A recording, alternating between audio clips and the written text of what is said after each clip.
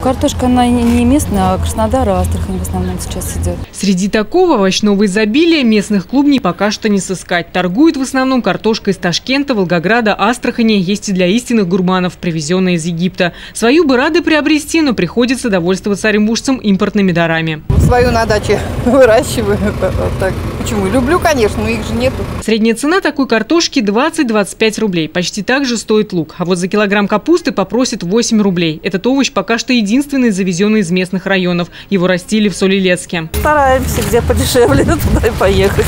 Теперь с поисками доступных по ценам овощей, обещают в мэрии, станет легче. На городских агрофермах уже собирают первый урожай и начали снабжать им местные рынки. Тем более год для сельхозпроизводителей обещает быть богатым. С полей планируют собрать более 8,5 тысяч тонн овощей и почти 17 тысяч тонн картофеля. Отразится и на стоимости, она станет меньше. Средняя э, цена ранней капусты значит, э, на рынке, которая была поставлена, порядка 3-5 рублей за килограмм.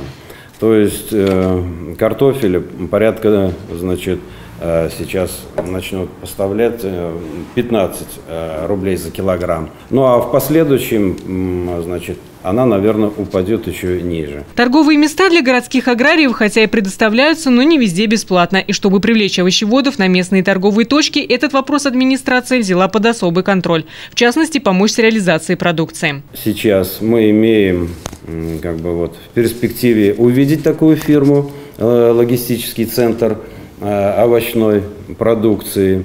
Он позволит и увеличить э, объем выпускаемой продукции. Логистический центр планируют создать в районе колхоза имени Ленина. Руководство фирмы уже в ближайшее время готово обсудить с городскими колхозниками вопросы сбыта овощей. Чиновники надеются, что благодаря этому центру проблема с реализацией у местных сельхозпроизводителей будет окончательно решена.